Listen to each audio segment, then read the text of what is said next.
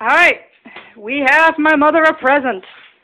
Jesse, would you like to unwrap the present? Yes. Do it! Unwrap the present!